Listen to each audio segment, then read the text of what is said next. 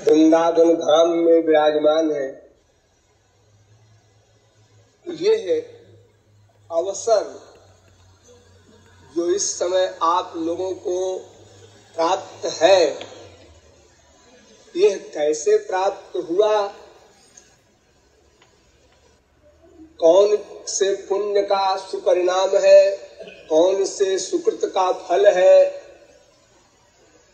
कौन सा वो वैदिक स्मार्त कर्म है जिसके परिणाम स्वरूप वृंदावन में प्रवेश हुआ? इसका कोई उत्तर नहीं।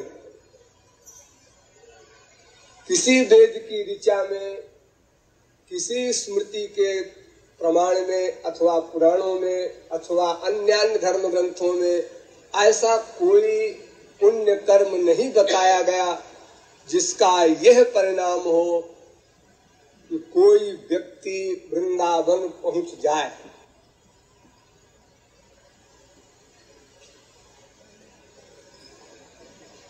क्योंकि वृंदावन धाम ऐसा धाम है जिससे परे कुछ नहीं है। किंतु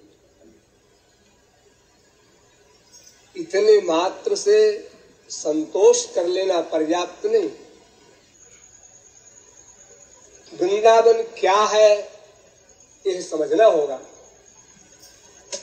क्या यह वही वृंदावन है, जिसका स्थान भगवान ने अथवा महापुरुषों ने सर्वोच्च माना है? और क्या हम ऐसे वृंदावन में कभी या वर्तमान काल में पहुँचे हैं?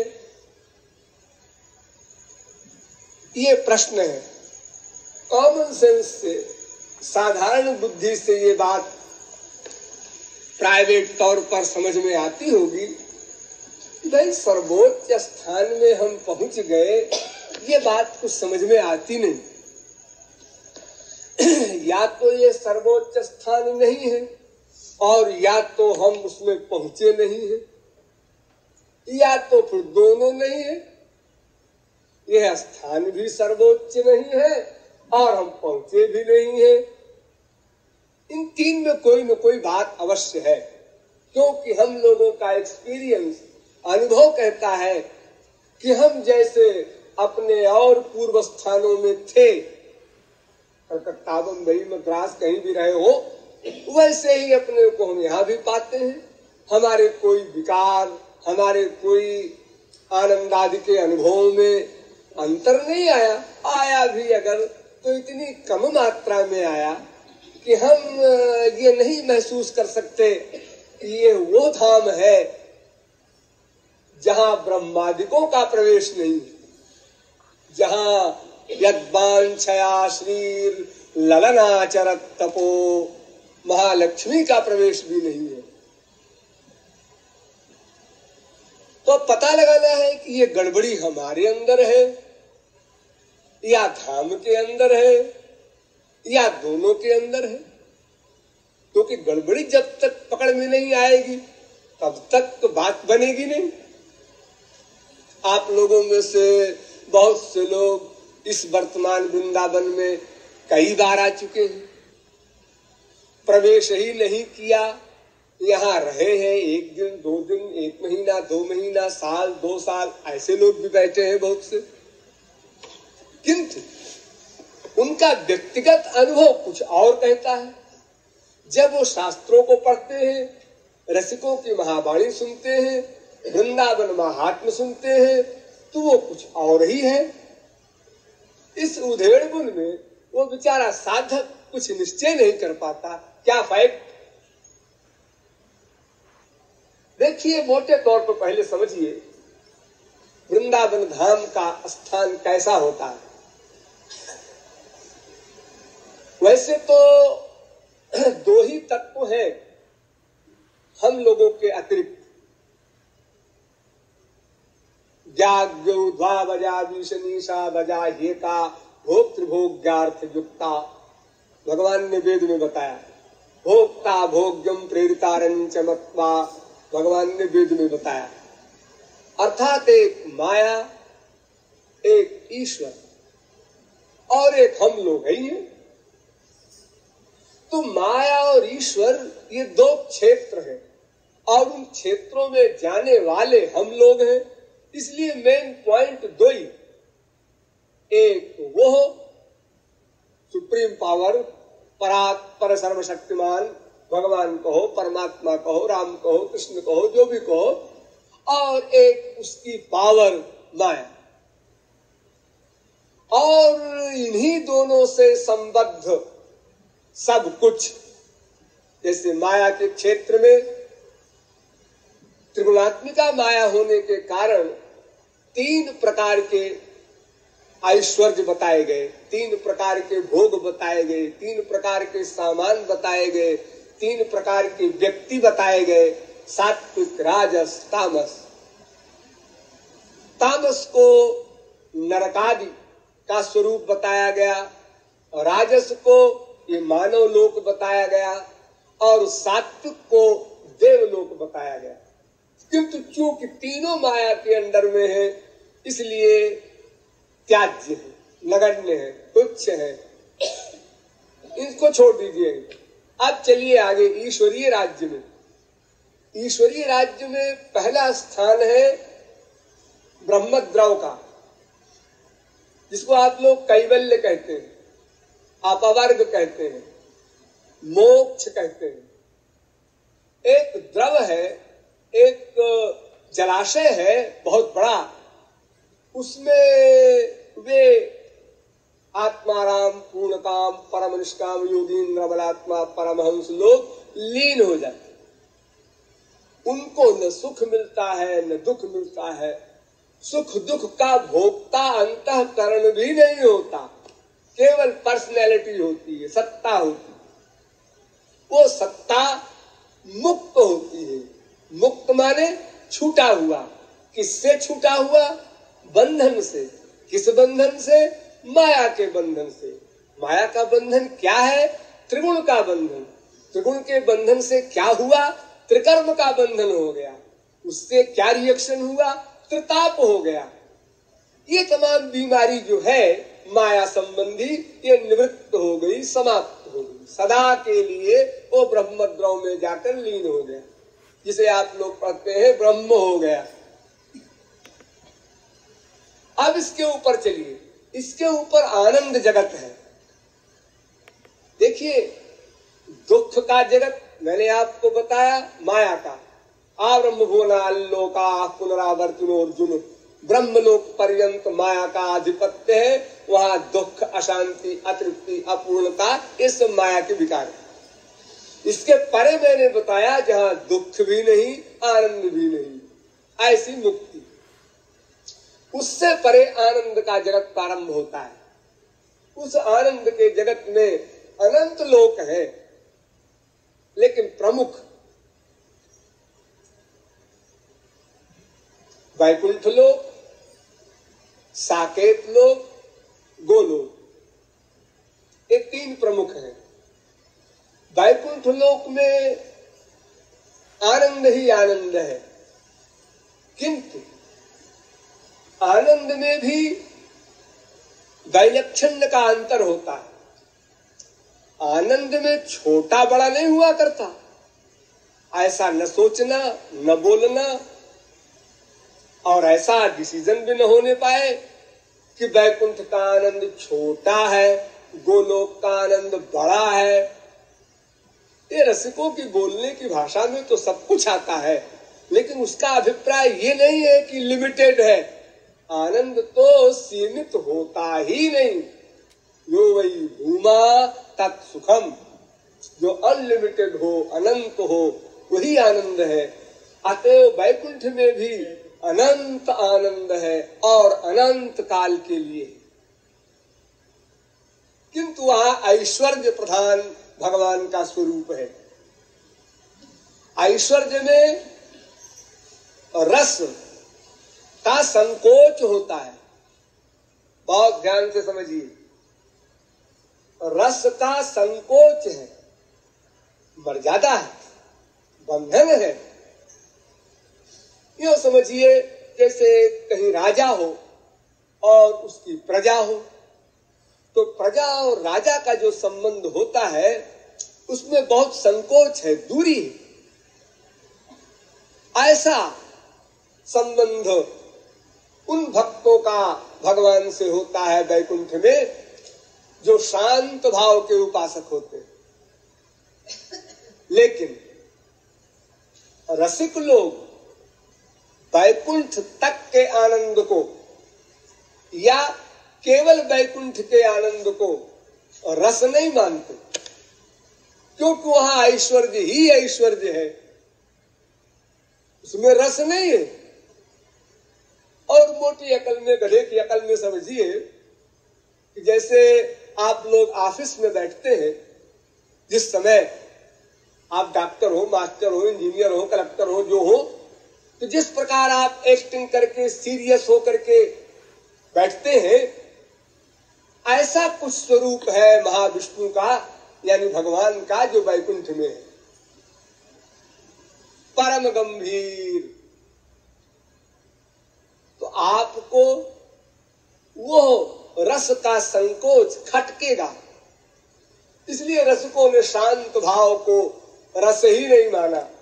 अब उसके आगे चार भाव बचते हैं। दास्य भाव, सख्य भाव, वात्सल्य भाव, माधुर्य भाव। तो इन बचे हुए चार भावों में तीन भाव साकेत लोक में मिल जाते हैं। दास्य भाव, सख्य भाव, वात्सल्य भाव। ये राघवेंद्र सरकार भगवान राम का लोक है, साकेत लोक। ये महाविष्णु का लोक बताया मैंने वैकुंठ, और राम का लोक बताया साकेत। लेकिन माधुर्य भाव के रस के लिए गोलोक है, अंतिम रस जहाँ मिलता है। लेकिन इन तीनों का अध्यक्ष एक ही है। ऐसा न समझ लेना कि ये महाविष्णु कोई और है, राम कोई और है, कृष्ण कोई और है, ऐसा नहीं है। ये रस वैलक्षण से लोगों का प्राकट्य होता है। और ये प्राकट्य भी ऐसा नहीं है जैसे हमारे इस मृत्युलोक का प्राकट्य हुआ है। हमारे मृत्यु मृत्युलोक का तो आविर्भाव, तिरुभाव होता है। यानी सृष्टि होती है, फिर प्रलय होता है, फिर सृष्टि होती है, उत्थान पतन होता है। लेकिन वैकुंठ साकेत गोलोक का कभी प्रारंभ नहीं हुआ और कभी प्रलय नहीं होना है। प्रलय भी बहुत प्रकार के होते हैं। मोटे तौर पर दो प्रलय समझिए। एक प्रलय, एक ब्रह्मांड का। एक महाप्रलय, अनंत ब्रह्मांड का। लेकिन अनंत ब्रह्मांड के प्रलय में भी वैकुंठ साकेत गोलोक का प्रलय नहीं हुआ करता। वो नित्य धाम कहलाता है। वो न कभी बना था और न कभी बिगड़ेगा। अरे बिगड़ना तो संसार को भी नहीं है। उसको उसको भी प्रकट होना और तिरोभाव होना है, लेकिन माया विकारी है, इसलिए इसमें परिवर्तन होता रहता है। तो वैकुंठ साकेत और गोलोक, इनका अध्यक्ष अलग अलग नहीं, तीन भगवान नहीं हुआ करते।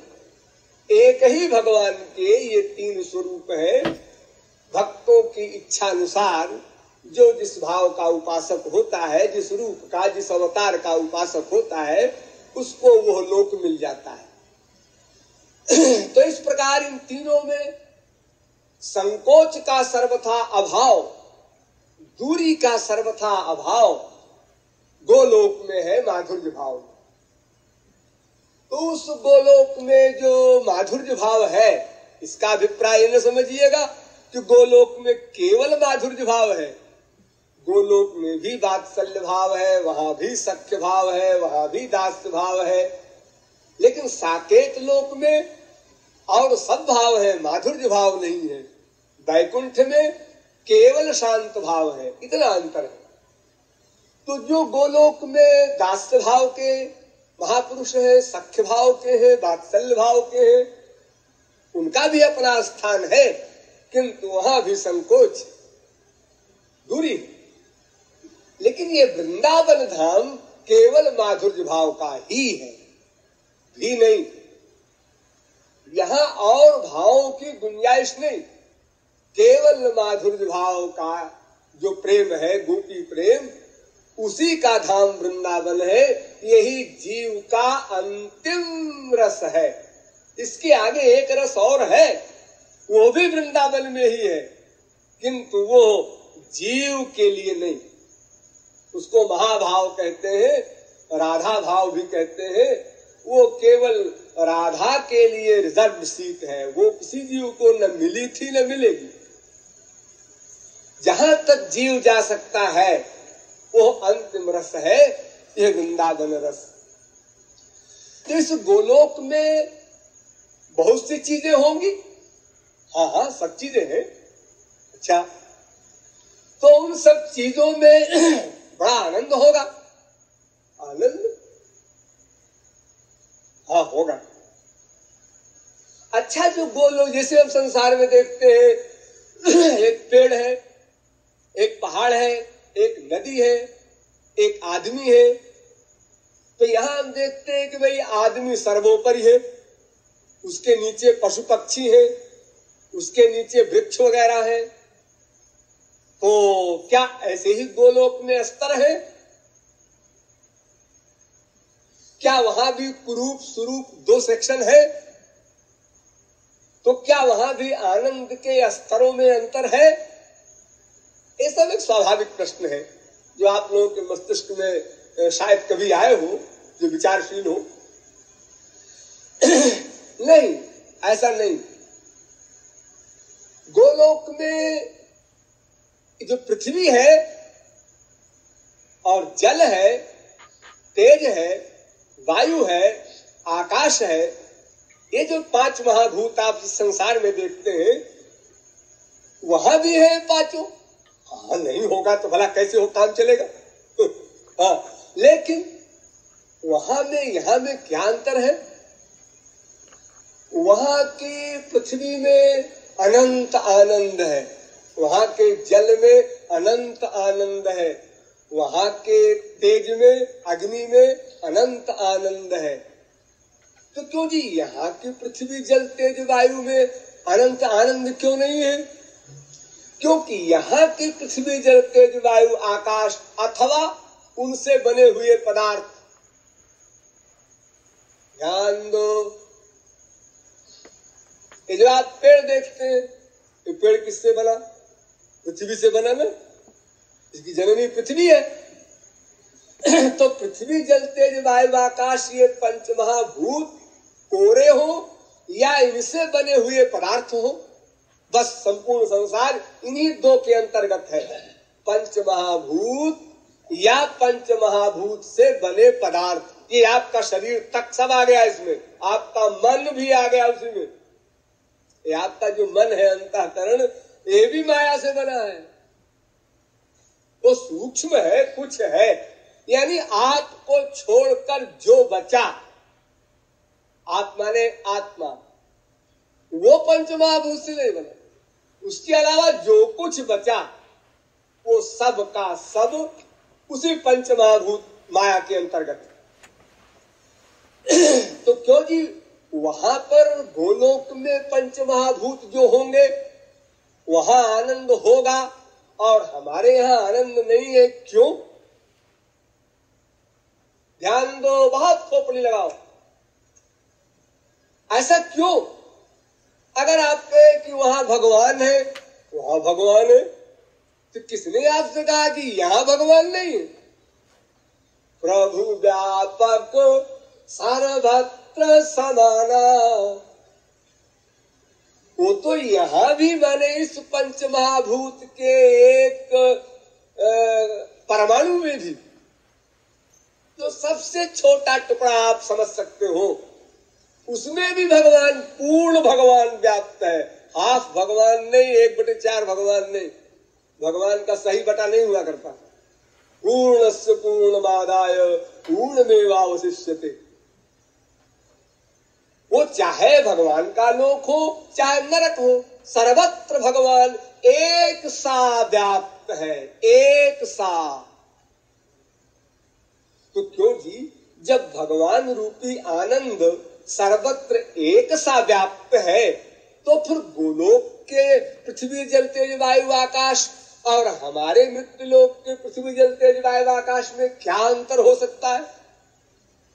अगर आप कहते हैं कि जी यहाँ जो भगवान व्याप्त है, उसका अनुभव करने के लिए हम अधिकारी नहीं बने हैं। अगर अधिकारी बन जाए तो हमको यहाँ आनंद मिलने लग जाए तो फिर ऐसे ही गोलोक में भी होगा। क्योंकि सब बड़े बड़े सिद्ध महापुरुष ही वहाँ जाते हैं, इसलिए सबको उस पंच महाभूत में व्याप्त भगवान का अनुभव होता होगा। और क्या अंतर होगा वहाँ के पृथ्वी जल तेज वायु आकाश में और यहाँ के पृथ्वी जल तेज वायु आकाश में? नहीं, ऐसा नहीं। ऐसा नहीं? फिर कैसा? यहाँ का पृथ्वी जल तेज वायु आकाश एक अलग पदार्थ है। पूरी बुद्धि लगाओ, पूरी। इसको नींद आवे, खड़े हो जाओ। इतना बड़ा दुर्भाग्य न लाओ अपने मस्तिष्क में। यहाँ का पृथ्वी जल तेज वायु आकाश जो पाँच तत्व है, उसमें भगवान व्याप्त है। और ये पंच महाभूत माया का बना हुआ है। यानी पंच महाभूत अलग पदार्थ है, भगवान अलग है, वो भगवान इस पंच महाभूत में व्याप्त हुआ। तत्सृष्टवा तदेवानु प्राविशत तदनु प्रविश्य सत्य त्यक्चा भवन निरुक्तम चा निरुक्तम च निलयनम चा च विज्ञानम चा विज्ञानम च सत्यम चानुतम च सत्यम भवत किंच वेद कहता लेकिन गोलोक में क्या है?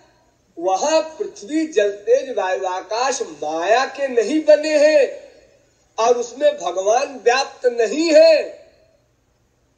फिर काहे के बने हैं जी? अरे दो ही तत्व तो होता है आप कहते हैं माया एक भगवान। हाँ तो दूसरा तत्व जो है भगवान, जिसे आप कहते हैं तो श्री कृष्ण ही पृथ्वी बने हैं श्री कृष्ण ही जल बने हैं श्री कृष्ण ही तेज बने हैं श्री कृष्ण ही वायु बने हैं श्री कृष्ण ही आकाश बने हैं। यानी वहाँ का जितना भी सामान है, वो किसी अलग पदार्थ से नहीं बना है। श्री कृष्ण ही सब कुछ बने हैं। इसलिए श्री कृष्ण को देख लो, जो आनंद मिलेगा, वही वहाँ की पृथ्वी देखने से मिलेगा। श्री कृष्ण का आलिंगन करो, जो आनंद मिलेगा, वही वहाँ की पृथ्वी के आलिंगन से आनंद मिल जाएगा। उसमें कोई अंतर नहीं है। वन परसेंट का भी अंतर नहीं। जब श्री कृष्ण ही बने तो फिर उस वृंदावन के, उस गोलोक के भूखंड के एक रज कण को, एक धूल के कण को देखने में वही आनंद मिलेगा जो सिद्ध महापुरुषों को राम कृष्ण के दर्शन में आनंद मिलता है। एक रत्ती भर का भी अंतर नहीं होगा। तो यहाँ हमारे ब्रह्मांड में, माया के लोक में सामान माया का है और व्याप्त भगवान है। इसलिए जो भगवत प्राप्ति कर लेता है, वो सामान से अलग हो जाता है और सामान में जो व्याप्त भगवान है, उसका आनंद अनुभव करता है। लेकिन गोलोक में सामान है ही नहीं, स्वयं श्री कृष्ण ही सामान बने और स्वयं श्री कृष्ण ही स्वयं अलग है। इसलिए कोई अलग का, माया का या माइक पदार्थ का वहाँ प्रश्न ही नहीं उपस्थित होता। नगत्र सूर्यो भात। वहाँ सूर्य नहीं है, वेद कहता है। सूर्य नहीं है तो अंधेरा होगा गोलोक में। नहीं नहीं, सूर्य है। ये मेटीरियल सूर्य नहीं है वहाँ। श्री कृष्ण ही सूर्य बने हैं। न चंद्र तारकम, वहाँ चंद्रमा नहीं है। वहाँ तारागण नहीं है। तो बड़ा खराब आकाश लगता होगा वहाँ का। नहीं है। लेकिन श्री कृष्ण ही बने। हैं नेमा विद्युतो भांति कुतो यमग्नि तमेव भांत मन भाति सर्वम, तस्य भाषा सर्वमिदम विभाति तद भाषयते सूर्यो, न शशांको न पावक, गीता। तो एक अंतर आप लोगों ने समझा कि भगवान के लोक में कोई चीज़ माया की जा ही नहीं सकती। ये आपका शरीर माया का है? हाँ। इस शरीर से आप दो लोग जा सकते हैं असंभव ये जो शरीर आपका है, इस शरीर से तो आप माया के लोक में भी नहीं जा सकते। है? माया के लोक में? माया के लोक में तो बैठे ही है। हाँ हाँ माया के लोक में का मतलब माया के क्षेत्र में एक सात्विक माया के लोक होते हैं। सात्विक माया के लोग। स्वर्ग लोग इसे आप लोग सुनते हैं, पढ़ते हैं, कहते हैं। तो स्वर्ग लोग का जो शरीर है, वो ऐसा नहीं होता। तो फिर कैसा होता है? पंचमहाभूत का नहीं होता। ये होता तो माया का है, लेकिन ये स्थूल शरीर नहीं होता। वहाँ का शरीर बड़ा विलक्षण होता है। अगर कोई देवता यहाँ खड़ा हो जाए आकर के और उसके शरीर की खुशबू आप लोगों को मिले तो आप लोगों का शरीर फट जाए। सह नहीं सकता उस सुख को। लेकिन है सुख लिमिटेड लेकिन आप नहीं जान सकेंगे। आप तो समझेंगे अनलिमिटेड सुख यही है, क्योंकि मैं सह नहीं सका। अरे, आप लोगों का तो हाल है तो दस, बीस, पचास लाख इकट्ठा मिल जाता है तो हार्ट फेल हो जाता है। तो आप बड़े बड़े सुख क्या सहेंगे? बिना शक्ति के वो नहीं सहे जा सकते। देवताओं की आँखों में पलक नहीं बनती। देखिए उनके शरीर में कितना ऐसी चमक होती है उस शरीर में नेचुरल कि उनको ज़रूरत नहीं होती कहीं लाइट लगी हो तो उसकी हेल्प से कोई सामान देखे। उनका पैर ज़मीन पर नहीं छू सकता। अगर यहाँ पर वो खड़े होंगे आपके सामने तो ज़मीन के ऊपर खड़े रहेंगे। ज़मीन में टच नहीं कर सकता वो शरीर। उनके शरीर से पसीना, मल, मूत्र नहीं निकलता। वे खाना नहीं खाते क्या? खाते। लेकिन ये मोटा मोटा खाना नहीं खाते जो आप लोग खाते हैं, रसगुल्ला वगैरह। उनका खाना भी सूक्ष्म है। शरीर भी सूक्ष्म है, लेकिन एक चीज़ मिलती है आपसे। क्या? सुख, दुख। जैसे आपको मिलता है, वैसे उनको मिलता है। आप पड़ोसी की कोठी कार वाले को देखकर ईर्ष्या करते हैं और कामना करते हैं, ऐसे हमारी भी कोठी हो जाती, हमारी भी कार हो जाती। ऐसे ही वो स्वर्ग लोक वाले भी अपने ऊँचे से लोक वालों को देखकर ईर्ष्या करते हैं। अगर वो मिल, वो हमको स्वर्ग मिल जाता महाजना तपा सत्य आदि जो लोक है एक के ऊपर एक भी बीमारी है। तो मानसिक जगत जो उनका है, दुख का, अशांति का, अतृप्ति का, कामना का, ममता का, आसक्ति का, वो आप ही की तरह उसमें कोई अंतर कोई अंतर नहीं। एक परमाणु का भी अंतर नहीं। शरीर का अंतर बहुत बड़ा तो देखो, ये स्वर्ग का शरीर जो है यही शरीर आपके शरीर से इतना विलक्षण है। लेकिन है माया का, वो शरीर स्वर्ग वाला भी नहीं जा सकता भगवान के लोक में, न वैकुंठ में, न साकेत में, न गोलोक में। फिर वहाँ कौन जाएगा? वहाँ माया का कोई सामान जा ही नहीं सकता। फिर क्या होगा?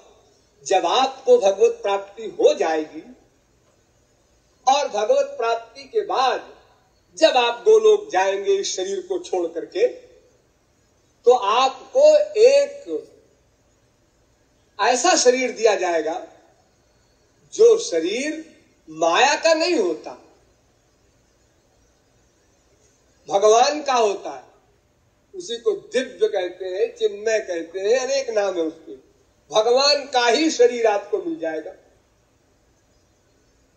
यानी भगवान के शरीर में जो जो बातें आप सुनते हैं, पढ़ते हैं, कि परमहंस देखकर दीवाना हो गया, वही बात आपके शरीर में हो जाएगी। और वही मन भगवान वाला आपको मिल जाएगा। वही बुद्धि आपको भगवान वाली मिल जाएगी। यानी आप कंप्लीट भगवान बन जाएँगे। तो भगवान में आप में अंतर क्या रह जाएगा जी? अंतर रह जाएगा फीलिंग का। मैं सेवक रघुपति पति मोरे। ये भाव बना रहे सेवक सेव्य भाव बना रहेगा। बाकी सब एक सा हो जाएगा। क्योंकि अगर एक सा न हो तो फिर वो गोलोक क्या रह जाएगा? फिर तो हम माया लोक का शरीर, माया लोक का मन, फिर तो गंदगी हो जाएगा। वहाँ ये गंदी चीज़ें नहीं जा सकती।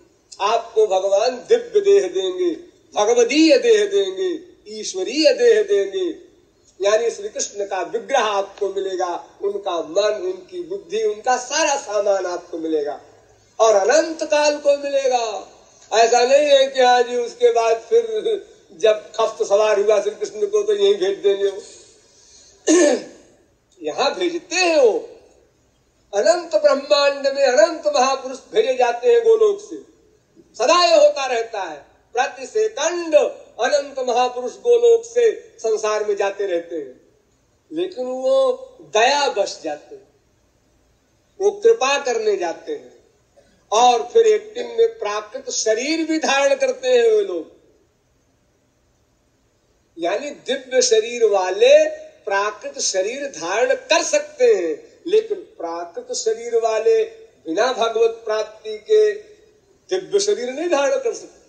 सोच भी नहीं सकते धारण करने कौन करे और भगवान भी प्राकृत शरीर धारण कर सकते हैं। ऐसे ऐसे अवतार हमारे यहाँ हुए जो प्राकृत शरीर में आए हैं भगवान, और शरीर यही छोड़ दिया है।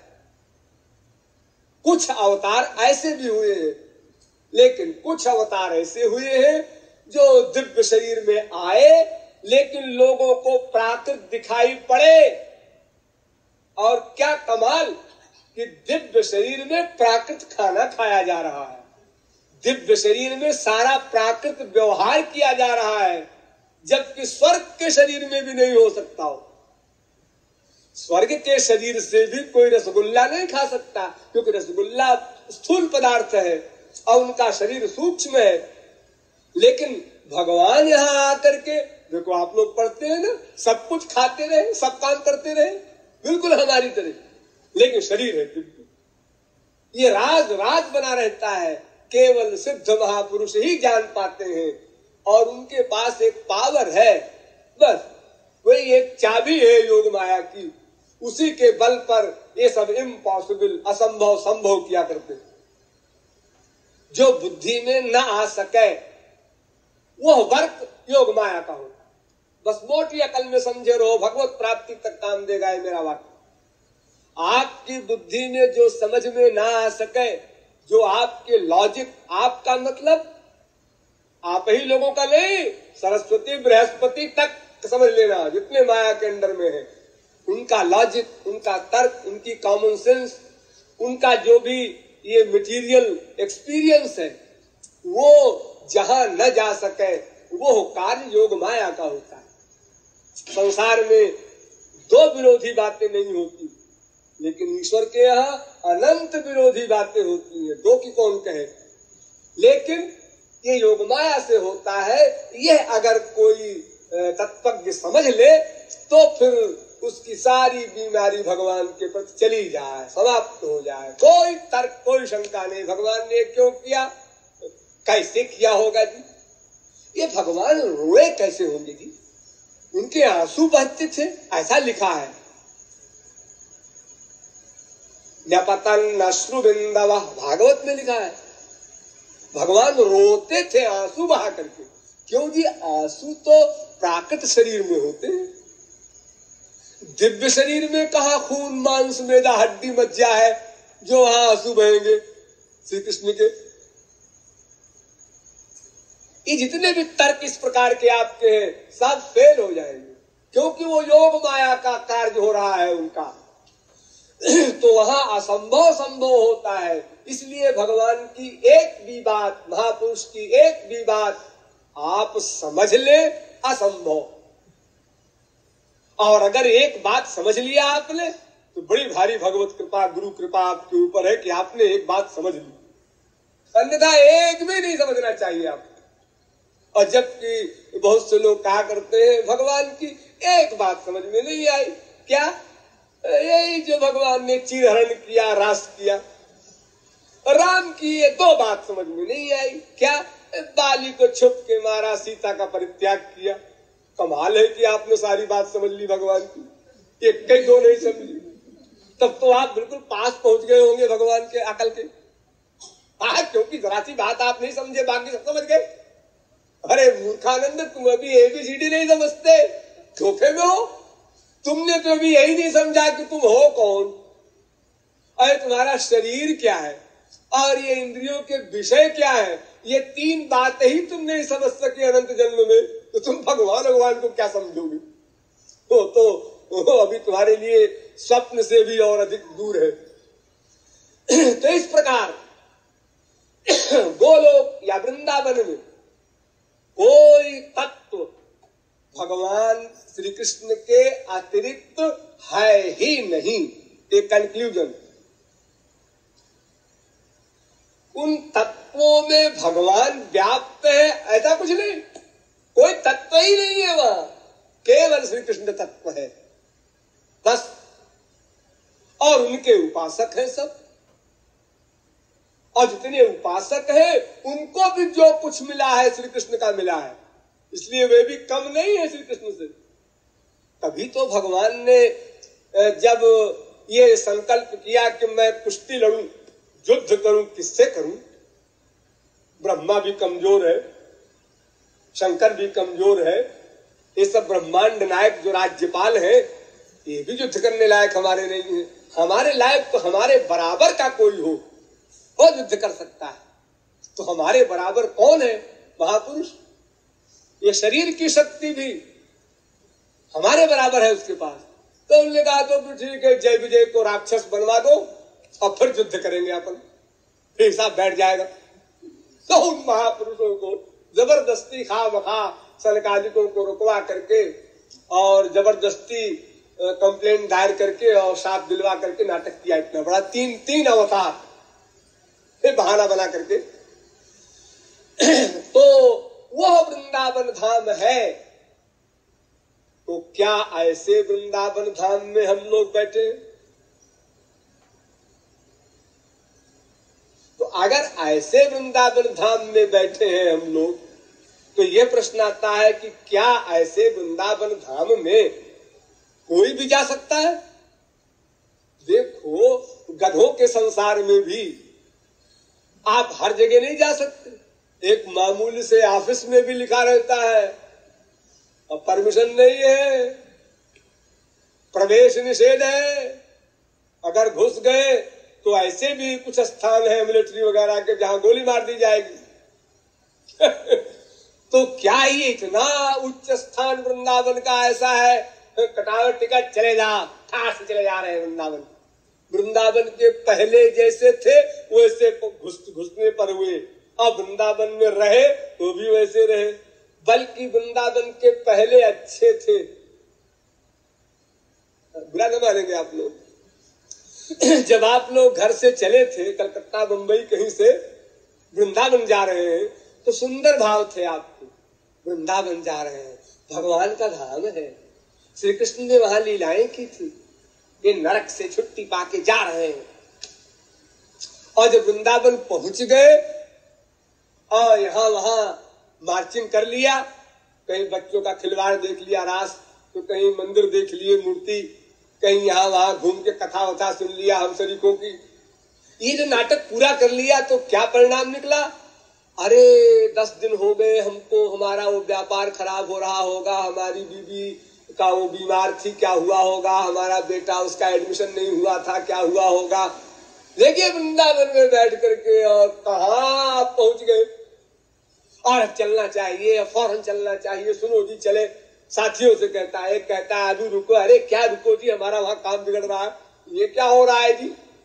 ये इतने ऊँचे स्थान में आकर के ये कहा पहुँच गए?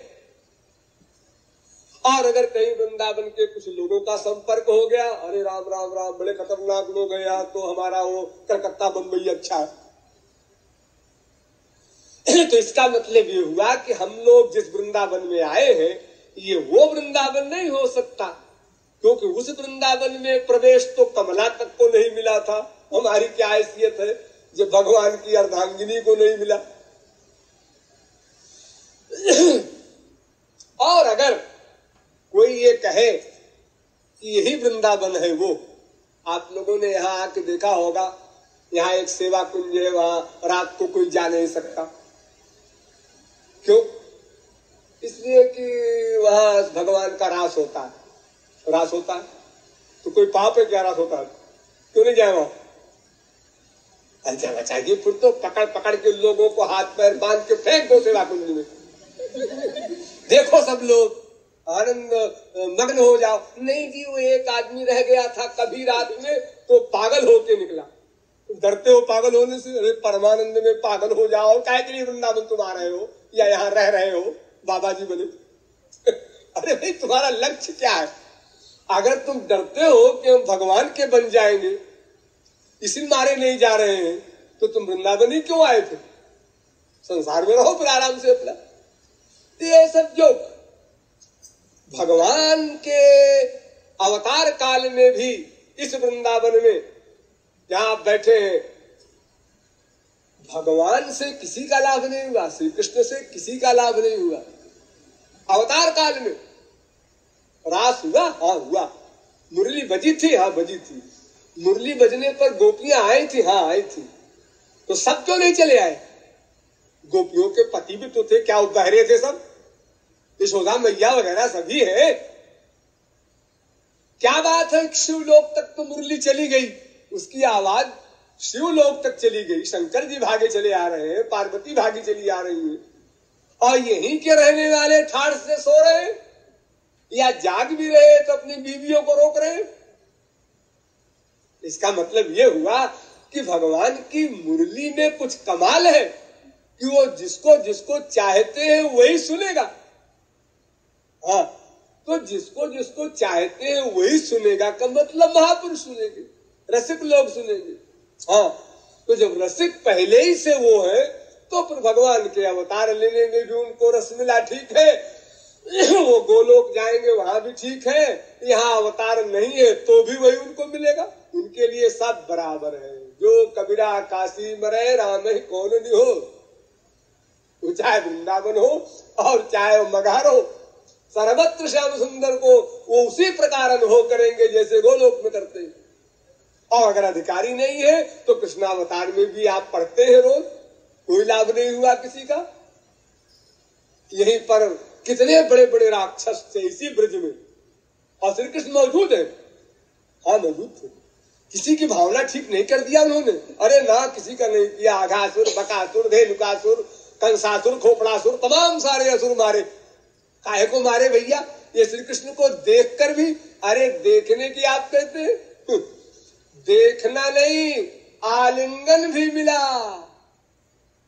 एक पूतना ने चिपटाया श्री कृष्ण को बक्षस्थल में। और मामूली चिपटाना नहीं, भगवान ने अपने मुख से उसके स्तन के चूचुक को भी पिया। इतना मधुर स्पर्श दिया, लेकिन मार दिया। क्यों? वो भक्त नहीं बन गई हम नहीं बनी होगी तभी तो मारा। तो ये भगवान का चमत्कार कुछ नहीं। नो, वो अधिकारी भेद से काम करते हैं, उनका अपना कोई चमत्कार ऐसा नहीं है, सार्वजनिक।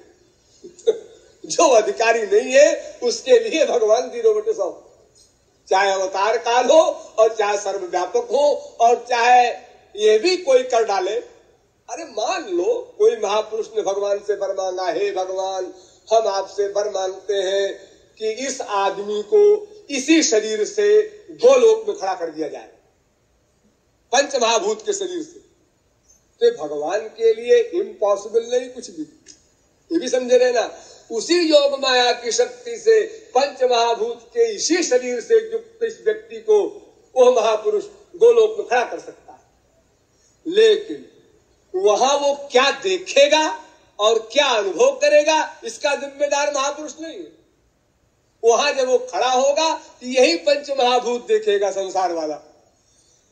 जैसे श्री कृष्ण के सामने खड़े होकर के उनके अवतार काल में लोगों ने पंच महाभूत का श्री कृष्ण देखा, उनका शरीर देखा, ऐसे ही वो गोलोक में खड़ा होकर देखेगा हाँ यहाँ के पेड़ वो हमारे, आगरा शरीर के तो है।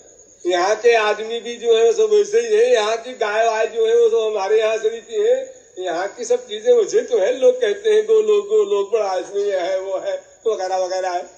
ये सब जो ढोल ढकोसले की बातें हैं, लंबी चौड़ी बातें हैं, सब बड़े बड़ी बातें बखार के लिख दिया लोगों ने। साहब तो परिणाम क्या होगा?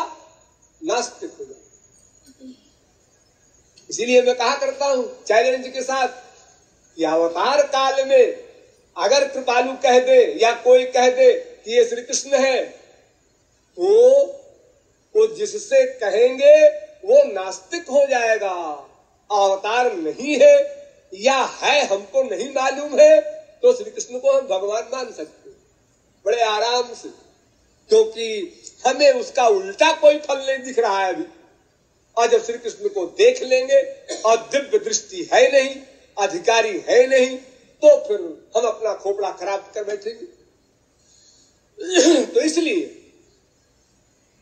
सबसे हट करके हमको एक पॉइंट पर आना होगा कि हम अधिकारी बने। अन्यथा ये वृंदावन दिव्य है तो भी हमारे लिए व्यर्थ। ये प्राकृत है तो भी हमारे लिए व्यर्थ। और दिव्य गो गोलोक अगर कहीं है, वहाँ भेज दिए जाएँगे, वो भी हमारे लिए व्यर्थ। रामकृष्ण को सामने खड़ा करके चिपटा दिया जाए हमारे बक्षस्थल में, वो भी हमारे लिए व्यर्थ। किसी का कोई लाभ नहीं। हम लोग आते हैं वृंदावन। बार बार आते हैं। एक अहंकार लेके वापस जाते हैं, लोगों से कहते फिरते हैं, हम वृंदावन गए थे। क्या हुआ? बड़ा आनंद है। आनंद है? मैं तो समझता हूँ कि लाखों आदमी जो वृंदावन में आते हैं, उनमें सैकड़ों आदमी भी ऐसे नहीं जिनके आनंद के आँसू बहे हो। सैकड़ों भी नहीं। ये तो खुल्ला खुल्ला भगवान को बेवकूफ़ बनाने की तरकीब कर रहे हैं हम लोग। ये भगवान भी ऐसे कोई है चार सौ बीस करो उसके साथ। वृंदावन में यहाँ से वहाँ तक घूमो मंदिरों में चक्कर लगाओ और यहाँ वहाँ अपना नाटक करके चले जाओ। हाँ, हो वृंदावन। खूब सत्संग किया। सत्संग? अरे सत्संग करते तो फिर लौट के आते नरक कुंड में। फिर तो श्री कृष्ण संग हो जाता। सत माने श्री कृष्ण वृंदावन में आए हो श्री कृष्ण के संग के लिए ना? तो तुमने किया कहा हो? ये कमा के जा रहे हो यार? वो बाबा बदमाश है वो लोफर है वो पुजारी ऐसा है वो पंडा ऐसा है वो मंदिर ऐसा है वो टीवी वो ऐसा है वो क्या क्या क्या कर रहे हो तुमको यहाँ समालोचना के लिए भेजा गया? तुम्हारे अंतकरण ने क्या कहा था? कि भगवान के धाम में जा रहे हैं? भगवान के धाम की फीलिंग तुमको अगर दस दिन में दस सेकंड को भी हो जाती तो जहाँ बैठे हो, यहीं पर लौट के बेहोश हो जाते। यहाँ श्याम सुंदर के चरण पड़े और हम आराम से घूम रहे हैं, आराम से बैठ रहे हैं। ऐसे कोई बात ही। नहीं एक अंगूठी मिलती है किसी को, एक करोड़ रुपए के हीरे की। तो एक भिखमंगा कितने प्यार से देखता है। एक करोड़ की अंगूठी, एक करोड़, विभोर हो रहा है। और अनंत आनंद कंद कृष्णचंद्र जहाँ पर चरण उनके पड़े, सिर उनका पड़ा, लोटे हैं वह स्वयं। उस पृथ्वी पर तुम बड़े आराम से चले जा रहे हो। तुम उसी पृथ्वी को मान रहे हो आज। गलत, धोखा। तो हमको वृंदावन आने का जो प्रयोजन होना चाहिए, वो तो प्रयोजन होना चाहिए ये कि ये वृंदावन वही है ऐसी भावना बनाना। और फिर उस वृंदावन के लाभ के लिए आँसू बहाना। जितने क्षण आपके आँसू बहे, वो वृंदा बनाना सफल, वरना ध्यान दो, वृंदावन आने से हानि हो जाएगी, लाभ तो बहुत दूर की बात।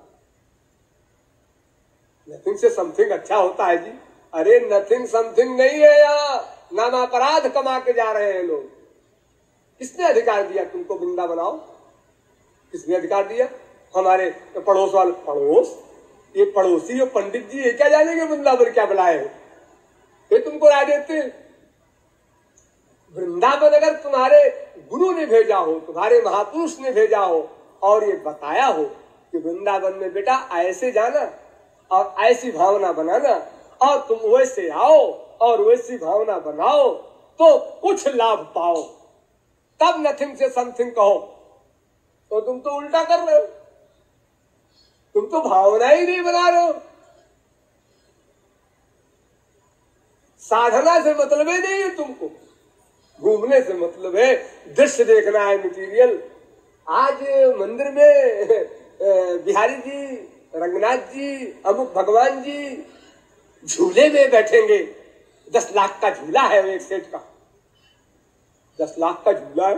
हाँ जी, आज आज तो लाखों आदमी आएगा। क्यों? आज तो ठाकुर जी की झांकी क्या बढ़िया होगी? ठाकुर जी की झांकी दस लाख रुपए से बढ़िया हो जाएगी। हाँ? तो ये मेटीरियल जगत देखने जाते हैं लोग, मंदिरों में। ये बाह्य जगत। ये तो आपके कलकत्ता, बंबई में इससे बढ़िया बढ़िया मिल जाएगा। इसे जौहरी के पास चले जाओ। तुमको क्या देखना था? अजी हमको किसी ने बताया थोड़े ही और फिर कोई बतावे भी तो अपन तो अपने मनमाने ढंग से चलते हैं। सुनो सब की करो मन की। पहले तो हमें महापुरुष हम किसी को मानते ही नहीं। और अगर मानते भी है तो भाई उसकी कुछ बात मान लेते हैं, कुछ अपनी मानते हैं। ऐसे हर एक बात मानने लगे तो आखिर हम भी तो अकल रखते हैं। ये हमने किया अनादिकाल से अब तक। एक दो हज़ार बार नहीं, अनंत बार वृंदावन आए। अनंत जन्म हमारे वृंदावन में हुए, यही मरे। और मिथ्या भ्रांति लेकर मरने के बाद तो गोलोक मिल जाएगा। यानी भगवान को ऐसा समझते हैं जैसा कि एक इंसान को भी नहीं समझना चाहिए। एक अल्पज्ञ इंसान भी ऐसे धोखे में नहीं आता है कि सारे जीवन को आप नकली चेक दिया करें। और आशा करें कि साहब ये असली मान लेगा। और बैंक भूल नहीं रहा, रुपया दे नहीं रहा। तो आप भगवान से कैसे आशा करते हैं कि ऐसी एक्टिंग करने से और आपको गोलोक मिल जाएगा या पैदा होने, मरने से मिल जाएगा? आपको साधना करनी हो। मुझे बहुत दुख हुआ। आज जिस तरह से कीर्तन कर रहे हैं आप लोग। फिर मुझसे कहते हैं, महाराज जी, वृंदावन चलिए। क्या चले वृंदावन? आप लोग कोई परवाह नहीं। इतने उच्छृंखल है, भगवान से भी बहुत आगे अपने को मानते हैं। वरना वृंदावन में बैठ कर ये कीर्तन करते हुए आँसू ना आवे, ये खोपड़ी आपकी, ये गुमान आपका, है क्या हैसियत आपकी? न रूप में आप कामदेव हैं, न आप ऐश्वर्य में इंद्र हैं, न धन में कुबेर हैं, न बुद्धि में बृहस्पति है, जबकि ये भी सब बेचारे नगण्य हैं। और फिर भी अहंकार है। नहीं कि हमको तो कोई अहंकार नहीं। अहंकार नहीं तो आँसू क्यों नहीं आए प्रतिनाम के ऊपर? कोई रीजन नहीं और। केवल एक रीजन अहंकार। लापरवाही। कौन रूप ध्यान करे? नंद नंदा सुख कंदा क्या कर? रहे कि क्या गाना सा गा रहे? किसी राजा महाराजा को सुना रहे? या कोई महापुरुष को आप बेवकूफ़ समझते हैं, भगवान को ना समझ समझते कि वो बलिहार जाएगा आपके इस गाने को सुनकर? अरे हा वो गंधर्व की गति नहीं है वहाँ। आपके गाने में क्या कमाल है? कभी सरी कर एक रहे। हमको प्रतिक्षण ये फील करना चाहिए था हाय, इतना बड़ा सौभाग्य, बिना किसी सुकृत के मिला, यानी कृपा से मिला। ये भगवत कृपा, ये संत कृपा कैसे हो गई? ये बुद्धि में नहीं आप विचार कर सकते, लेकिन हो गई। कि आप आ गए यहाँ, और एक रात को आए हैं, एक दिन को आए हैं, एक महीने को आए हैं। तो आपको इसकी इंपॉर्टेंस इसका महत्व अपनी बुद्धि से आंकना चाहिए। अरे सेवन परसेंट नहीं आंक सकते वन परसेंट को आंकिए। कुछ तो चलिए। आए, चले गए बिना आँसू के। लज्जित किया धाम को, अपने गुरु को, उसके आदेश को। और आत्महत्या के पाप से युक्त हुए। आत्महन गति जाए। आत्मा का सर्वनाश कर रहे हैं आप कि सब कुछ बनाव बन गया। क्या बनाव बाकी है? आप लोग कभी भी महापुरुष बनने के बाद जब सोचेंगे, क्यों जी? भारत वर्ष में जन्म हुआ, मनुष्य बने, और मनुष्य बनने के बाद संस्कार कहो, भगवत कृपा कहो, सही रास्ता बताने वाला मिल गया, और वृंदावन धाम भी पहुँच गए, और संसार से निश्चिंत होकर के संकीर्तन भी प्रारंभ हो गया। लेकिन हम किस प्रकार अपने को भगवान से पृथक रखे रहे, सावधानी के साथ, खबरदार। श्री कृष्ण की तरफ़ जाना मत। चाहे वृंदावन हो, चाहे डायरेक्ट दिव्य गोलोक हो। कितनी बड़ी लापरवाही, कितना बड़ा अपराध है। अब कौन सी कृपा इसके आगे और होने वाली है? अगर आप कहें वही कृपा और हो जाए, कौन सी? वो जो दिव्य शक्ति है ना, आप कह रहे हैं, योग माया, दिव्य चिन्ह में तो वो दे दी जाए अगर। कोई बाबा जी दे दे। तो क्यों जी? अगर बिना हमारे अधिकारी बने, कोई बाबा जी वो दे सकने की क्षमता रखते तो क्या अनादिकाल से अब तक तो कोई बाबा जी नहीं हुए विश्व या बाबाओं के जो परम बाबा भगवान है वही कर देते ऐसा? उनके लिए क्या बड़ी बात थी? बाबा बनाने की ज़रूरत क्या है उनको? सबको इकट्ठे बना दो बाबा।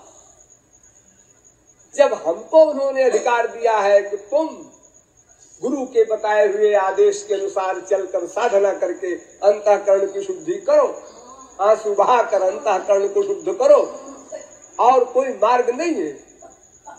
अनंत कोटि कल्प तक तुमने बुद्धि लगाई कि बस यही नहीं मानेंगे, बाकी सब मानेंगे। ध्यान दो, अनंत कोटि जन्म में हम लोगों ने एक जिद की आय भगवान आय संत तुम दोनों ने जो हम बार बार हमसे कहा, या शुद्ध आँसू बहाने से ही काम बनेगा, बस इसको हम नहीं मानेंगे।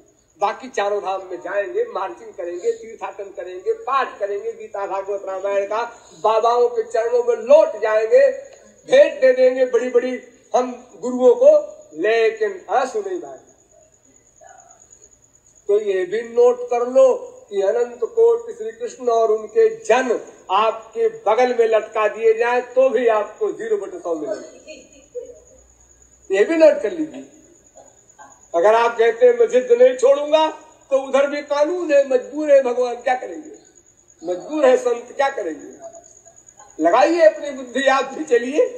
अभी नहीं थके हैं, और जन्म लीजिए बार बार तो इस प्रकार हमको फील करना है, अपनी गलती, अपना अपराध, अपना अहंकार मानना है। जब उसको हम ठीक ठीक फील करेंगे, अरे वन परसेंट करेंगे तो वन परसेंट लाभ होगा, कुछ तो करें। हम कमरे में बैठे बैठे बड़े ध्यान से नोट कर रहे हैं। क्या हो रहा है? कीर्तन हो रहा है। महाराज ये भी आए नहीं बाहर। और चाय वाय पी रहे होंगे, अभी आते होंगे। क्या करेंगे महाराज जी बाहर आकर के? नौटंकी करेंगे? कोई खेल होगा यहाँ सर्कस का? क्या देखना चाहते हैं आप महाराज जी? आप किस लिए यहाँ पर आए अरे भाई, कोई यहाँ छोटे छोटे बच्चे रास करते हैं, श्री कृष्ण लीला करते हैं, वो भी तो नहीं होना है। क्या देखना चाहते हैं आप? अरे कोई लेक्चर वेक्चर हो? लेक्चर क्या करेंगे लेक्चर को सुन करके अनंत बात तो सुनिए आप। जब नहीं मानना है तो क्या सुनना चाहते हैं आप? जो करना है आप करने के लिए आए हैं। मैं इसलिए बोलने लगा हूँ, मैं बोलता नहीं। यहाँ मुझे बोलने की ज़रूरत क्या है, वृंदावन में? या साधना के लिए, कराने के लिए मैं आप लोगों को लाया था। लेकिन बहुत दुखी होकर बोलना पड़ा कि आप लोग क्या कर रहे हैं? इतना बड़ा अपमान वृंदावन का कर रहे हैं तो मैं आप लोगों को ला करके ये वृंदावन का अपमान कराऊं। अच्छा है अपना, जिस शहर में वही अपना जो नाटक करते हैं, जिस तरह से कीजिए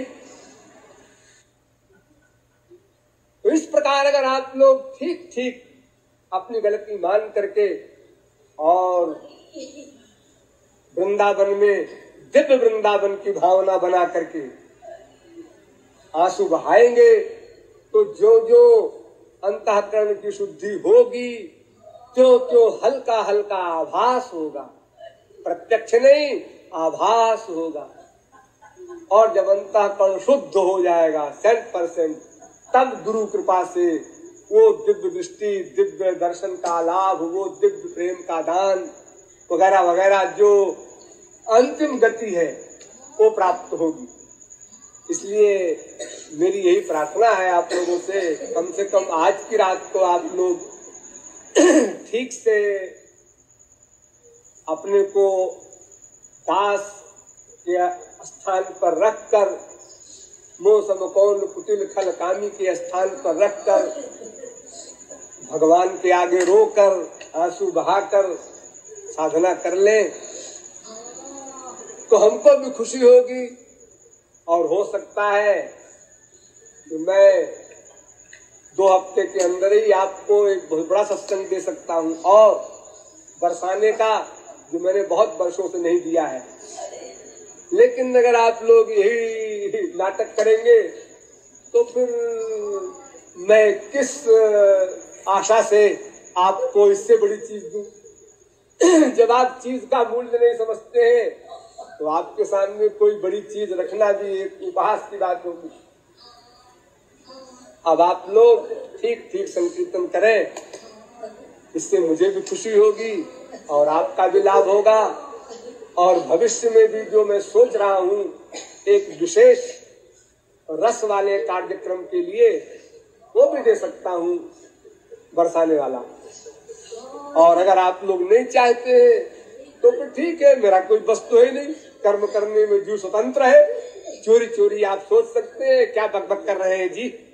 अपन ठीक कर रहे थे, अभी तक वैसे करेंगे। तो आपकी इच्छा वैसे ही करो, वरना बिल्कुल न करो, उल्टा करो। तो सभी कुछ समर्थ है जीव करने में। भगवान और महापुरुष समर्थ नहीं है। लेकिन आप तो समर्थ है। आप कहेंगे, उल्टी बात कर रहे उल्टी नहीं, मैं कुछ सीधी कर रहा हूँ। आप भगवान के शरणागत हुए, महापुरुष के शरणागत हुए, वो बंध गया। वो आपके योग क्षेम को बहन करेगा, करना पड़ेगा। लेकिन आपने छोड़ दिया महापुरुष को, छोड़ दिया भगवान को। ये आपके हाथ में। आपको इतनी आज़ादी है। भगवान को आज़ादी नहीं है। वो तो हम जिस समय चाहे उसको बाँध ले। शरणागत हुए, शुद्ध आँसू बहाए तो गुलाम हुआ। और अगर हम नहीं चाहते, नहीं करते वैसे तो आप लोग इस पर गहराई से विचार करके और संकीर्तन कीजिए। जीवन के सैकड़ों वर्षों में कतिपय क्षण मिले हैं सौभाग्य के। इनको काम में ले लीजिए। और ये आपका अपना स्वार्थ है। अपने स्वार्थ की सिद्धि के लिए आ, कोई एहसान नहीं है कि आप लोग मेरी बात मान रहे हैं तो मेरे ऊपर एहसान कर रहे हैं। कि अच्छी बात है, जब आप कहते ही है बार बार तो लो मान लेते हैं। मेरे लिए आप मान रहे हो, ऐसी बात नहीं। अपने मतलब के लिए आप मान ले। लेकिन अगर आप फिर भी कहते हैं, नहीं जी, हम तो आपके आपसे कुछ प्यार करते ही है और आपको खुशी होना है मेरे रोने से ही तो चलो भाई भी वही कर देंगे। तो अगर ऐसा ख्याल हो तो चलो, हमको भी मंजूर है, हम एहसान मानेंगे, आपका बहुत बहुत मानेंगे। जितना एहसान हम आप लोगों के आँसू का मानते हैं, उसे आप लोग नहीं समझ सकते वर्तमान काल में। ये तो कभी समझेंगे भविष्य में। हाँ अब आप लोग प्रारंभ कीजिए संगीत।